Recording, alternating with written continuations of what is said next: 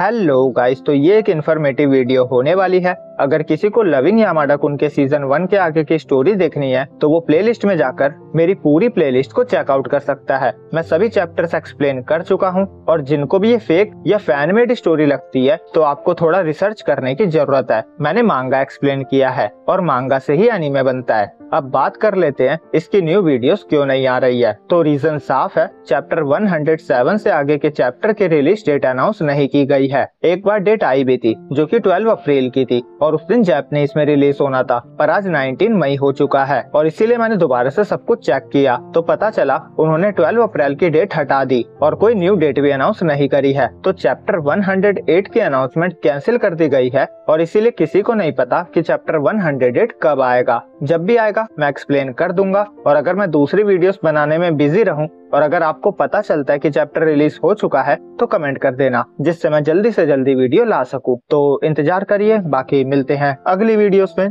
जब तक के लिए बाय बाय